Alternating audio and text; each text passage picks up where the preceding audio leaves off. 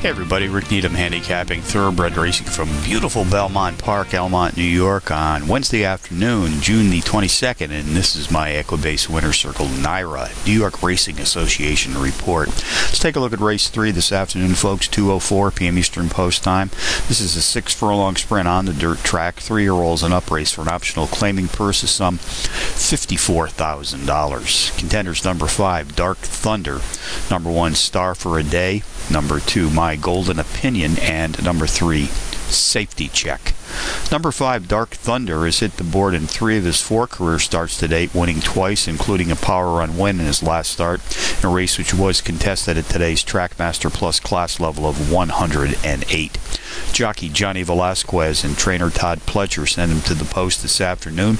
They fit the board with 57% of more than 400 entries saddled as a team to date. Number one star for a day, a 6 to 1 shot as the speed leader in this optional claiming field, sprinting six furlongs on the dirt has hit the board in power run fashion in four of his last five starts. Race 3 summary number 5 Dark Thunder tops my contenders list which also includes number 1 Star for a Day, number 2 My Golden Opinion and number 3 Safety Check 5123 in the third from Belmont Park bonus long shots. Let's go to River Downs in Ohio. Race number four, entry number seven, Sight and Sound at eight to one shot.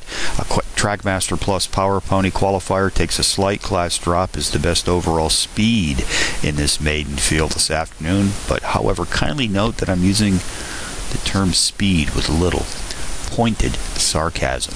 Colonial Downs, race seven, the four to one shot. Number one, he's a gold mine. The Trackmaster Plus Power Pony qualifier is the speed leader in this claiming field tonight, racing at the mile distance on the grass. So from Belmont Park on a Wednesday, as we open up another racing week here in New York City, Rick Needham for the Equibase Winner Circle, reminding you as always to please bet with your head, not over it.